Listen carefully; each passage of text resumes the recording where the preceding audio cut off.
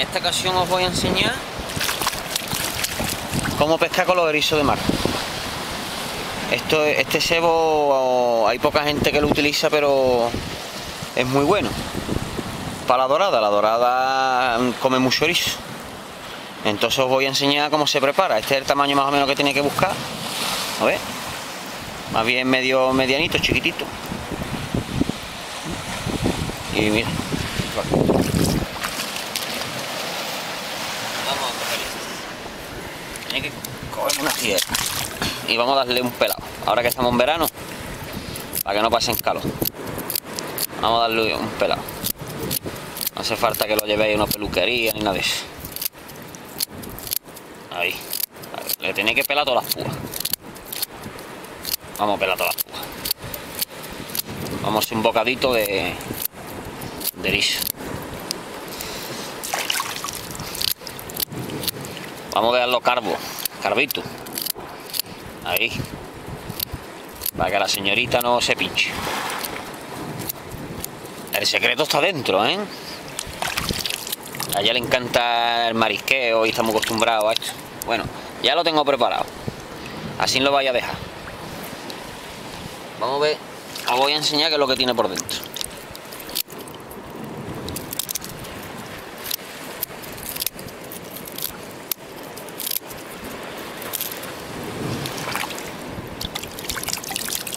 Esta huevecita que hay aquí es la huevecita blanca. ¿Ves toda esta huevecita? Pues todo esto es lo que le gusta a la Dora. Mira, esto, esto. Todo esto naranjita que sé que está saliendo ahora, ¿lo ves? Pues por eso ella se da cacheta.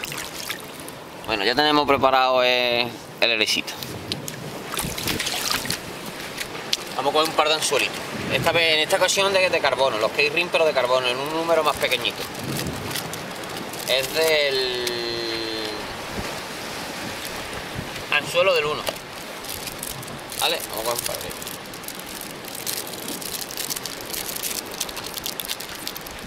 Ahí está, los dos anzuelos por un lado. Dos anzuelos anchos farcos. ¿Eh? Vamos a ponerlo aquí de carbono. Por, en negro para para disimular un poquito, para que no se note. ¿eh? Ahí. Su ISO profesional. Vamos a empatar primero uno. El anzuelo lo empatamos.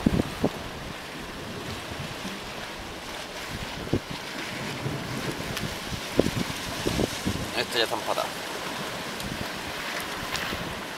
Este está empatado.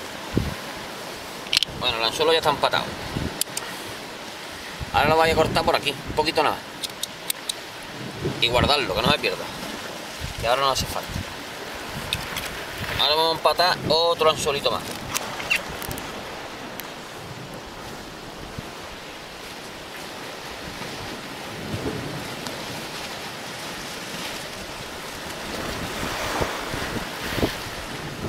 Empatado. Cortamos aquí. Ahí está. Ahora, el de antes, el que, empatamos antes y este, lo ponemos los dos juntos. Y le damos dos huertecitas. Una y dos. Es un nudo simple, pero con dos huertas. ¿Vale? Lo vamos trayendo, lo vamos cerrando y voilà, ya está puesto. Ahora le voy a cortar esa hora aquí. Y ya tenemos dos anzuelos. Mira, si se fijáis, tenemos dos anzuelos. Este mismo es lo mismo, el, utilizo este mismo aparejo con los muergos. ¿eh? Pondría uno aquí en el muergo y el otro aquí en el muergo. ¿eh? Imagínate que mi dedo es un muergo, pues pondríamos uno en cada lado, aquí iría el muergo y el hilo por abajo lo podemos dejar ya y lo lastico todo. Los, los, los anzuelos se quedarían por dentro del muergo. Os lo digo porque muchas veces me he preguntado cómo ponéis el muergo. Esto es una buena opción. ¿Eh? Se puede poner de más formas. El caso es que, que haya dos anzuelitos. Bueno, vamos a coger el erizo. Y lo vamos a pinchar. Y le vamos a poner un anzuelito. Y otro anzuelito por aquí. ¿Eh? Uno en cada lado. Ahí, ¿lo ves? Que están aquí uno y aquí otro. Y mira por dónde se la línea. Ahora se falta hilo elástico.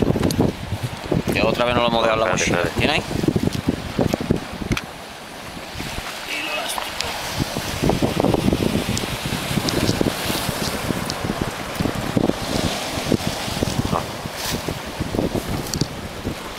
Y ahora con el hilo elástico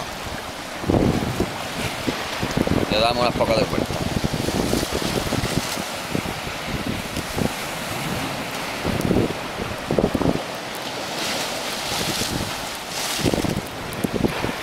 Le dais por todos lados, que no pasa nada.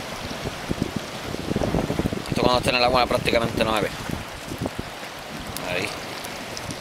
Hacemos un bocadito de... Y ya está. Ya lo tenemos preparado.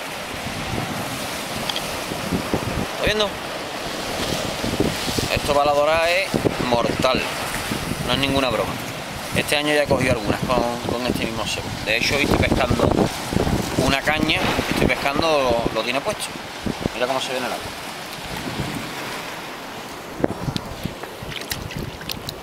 ¿Ves? La dorada llegaría y se lo comería sin más. Daría tres o cuatro bocados y como tenemos dos anzuelos por ahí, pues garantizamos la captura. ¿Eh? No olvidarse que esto es un cebo muy bueno. Bueno, voy a tener una cosita más, espero que os haya gustado.